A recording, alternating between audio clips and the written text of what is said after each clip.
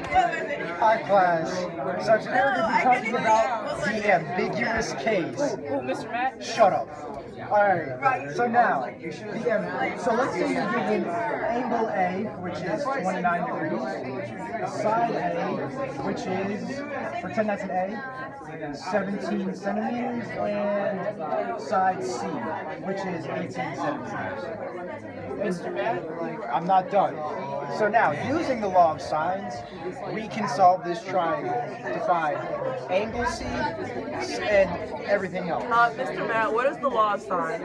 So now, the law of sines, that's a good question, is side A over sine of A is equal to side B over sine of B, which is equal to side C over sine of C.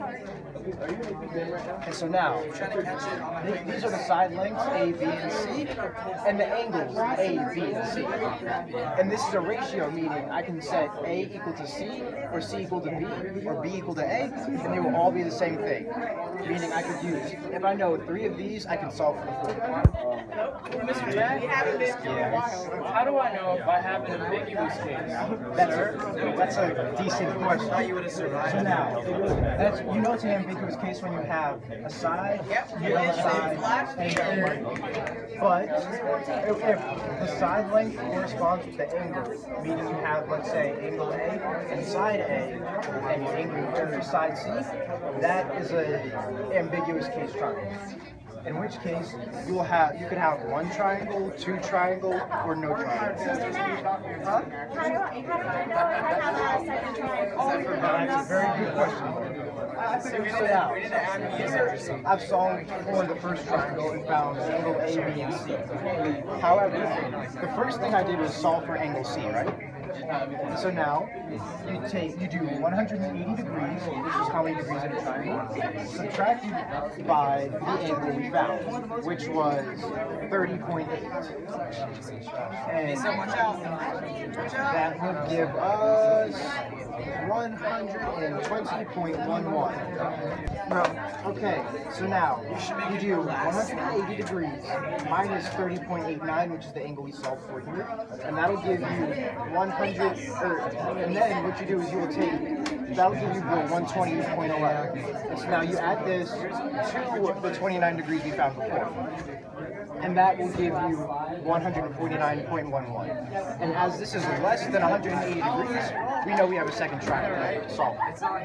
Okay, Mr. Matt, how do you know if you have no triangle? Well, that's also a good question.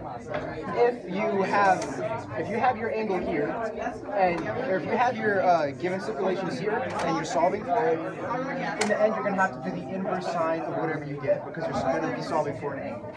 But if the sine comes out as no solution because it's outside the domain, you don't have any triangle. All right. Yes. Okay, so now. You gotta make sure it's sideways though. Uh, yeah.